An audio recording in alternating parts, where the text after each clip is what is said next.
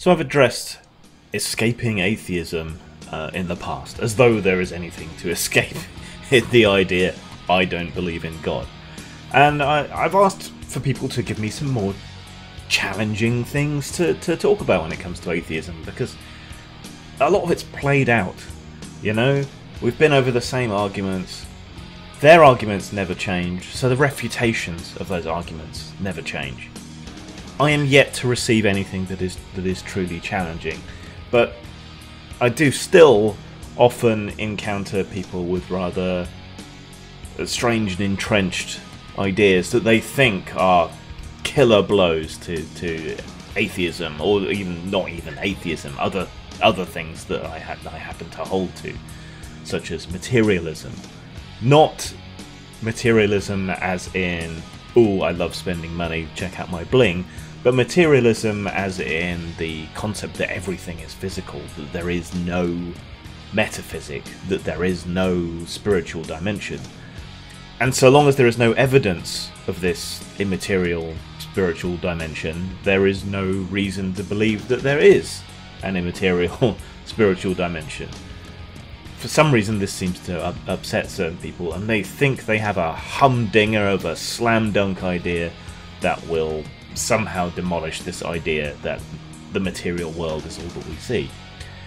And this happened on, in response to one of those those videos, and the guy just kept repeating and repeating the issue. I didn't seem to be able to get through to him, so I'm gonna try again here. Now, their conceit is that ideas are immaterial.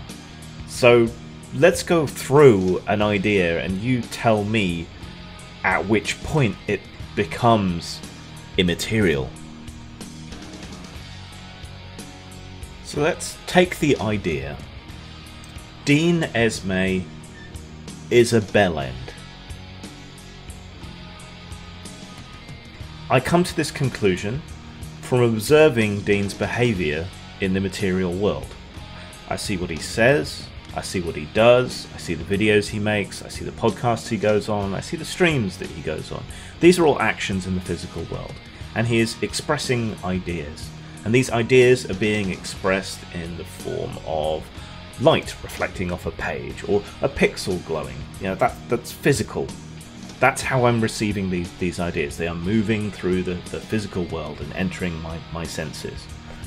If they come in through my ears, they hit my eardrums, and the vibrations of the sound wave are picked up, interpreted, and recognized as words by my brain and then encoded into my brain as memories, short term usually to start with, you know, onto the onto the cells and and the patterns in my head. And then later on, when I recall these ideas, my brain accesses these these memory sections and the concepts and so on associated with them. So at every step of the way, I mean, it starts as chemical and bioelectrical coding within Dean Esmay's damaged head that's then expressed as sound waves, pixels, you know, things that exist in the physical world. They're picked up by me through my physical senses and interpreted on the basis of things already encoded in my brain from previous observations of the physical world. We learn language by association with physical objects, actions, things. So, at what point in this process does this become immaterial? Because it's come from encoding in Dean's damaged head. It has transferred via physical processes, it's been picked up via physical processes, and it's been encoded, encoded via physical processes onto a physical brain. And that's where I get my observations from, and that's where the idea Dean Esmay is a bellend comes from, and, and how it exists within my brain. You know, and we know this. We can see ideas, we can see emotions encoded into the brain.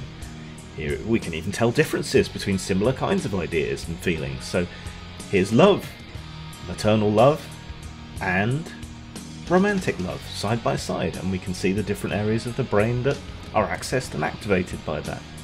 So the entire chain is physical from, from start to end. There is no metaphysical, there is no spiritual, there is no immaterial here. Where where is it? Tell me. Old Fat Punks is part caper, part comedy, part nostalgia, and part commentary. It follows three aging punks as they build themselves up for one big, nihilistic last hurrah. You can buy Old Fat Punks at Amazon, DriveThruFiction, or Lulu.com. Follow the links below or search on those sites. just a baby. My mama told me.